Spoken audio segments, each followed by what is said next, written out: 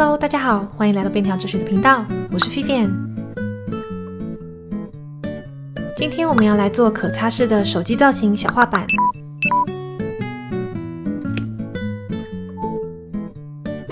除了可以自己设计手机图案，荧幕部分还仿造了易经画板的用法，可以消除再重复涂鸦哦。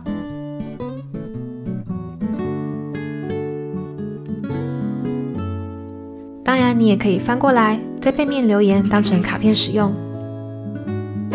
或是把荧幕当成秘密留言板，制造隐藏的小惊喜也很好玩哦。正好八八节要到了，一起做一支给喜欢三 C 产品的爸爸吧。那我们就开始喽。准备一张正方形纸，我们先来折出手机的形状。首先背面朝上，左右对折。把顶部一角往后反折，然后往另一边对齐。上半部不用压平，捏中间固定一下就好。然后把多出来的这一角沿线反折，这样左右角才会折得一样多哦。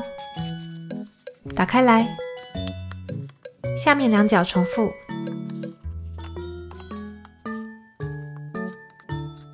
一样往左对齐，再折另一角。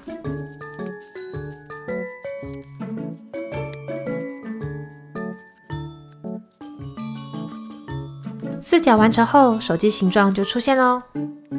先展开来，我们要来挖空荧幕的部分，在半边中间画一个长方形。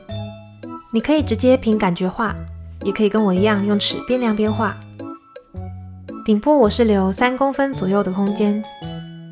底部的话留三点五公分左右，中线上也量好一样的距离做记号，然后连线。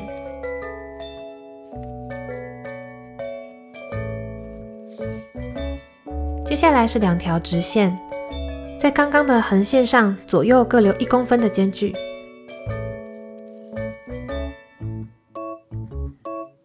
上面这条也是。然后连线，擦掉多出来的地方，就是一个整齐的长方形喽。把长方形部分剪下来，先捏住中间，剪一刀，然后从洞口往四边剪开后，就可以沿线把长方形剪下来喽。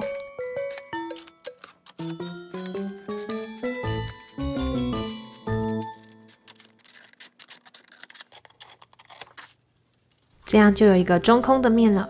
接着我们来准备一下画板需要的工具和材料：一张比手机大的硬纸板、胶带、双面胶、夹链袋、黑色的水彩颜料或亚克力颜料。没有颜料的话，也可以用护手霜或乳液代替。画底色用的色笔。准备好了吗？那我们就继续制作步骤喽。先把手机折回去。在下层描出荧幕框的边角，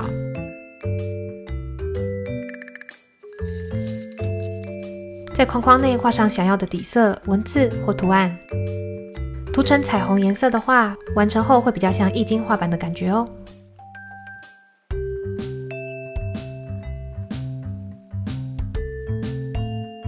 盖回去，拿出夹链袋和颜料。挤一颗稍微比杏仁大一点的颜料到夹链袋里，把旁边的空气压出去，再把夹链袋封起来，在袋子里均匀涂开，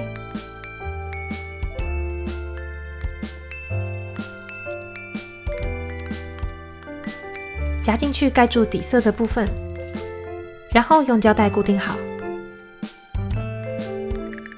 盖回来，荧幕的部分就是可擦拭画板喽。边角折回去，来加上手机的图案吧。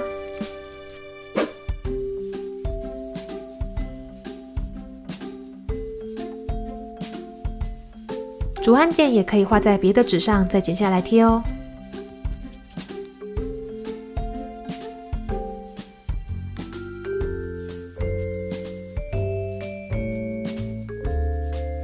装饰好啦。接下来来贴上双面胶固定，打开沿着荧幕边框来贴。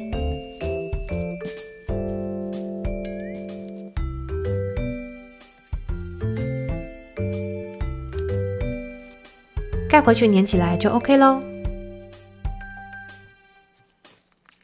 最后来增加一下手机的硬度吧，拿出硬纸板或卡纸，沿手机边缘在上面描出形状。剪下来，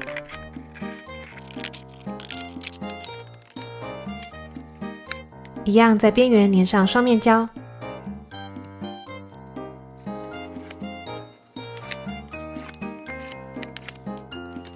重叠粘到底部，